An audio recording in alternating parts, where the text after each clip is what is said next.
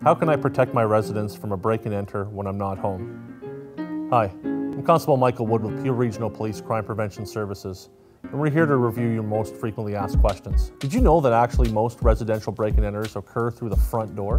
Follow some of these tips. Ensure that any trees or bushes are not covering your home and creating hiding places for criminals. Ensure that doors and windows are always locked, even if you're working on the property or you're around the house close by in the neighborhood. Consider aftermarket devices like alarm systems that are functioning and on, as well as other window and door lock devices. Consider installing heavier duty striker plates on your door frames and ensure that you have screws longer than two and a half inches that actually go into the frame of the house to secure your doors and hinges. If your lights are not on all night, consider installing motion sensor lighting and also install video surveillance cameras, but put them in positions where they're not easily tampered with.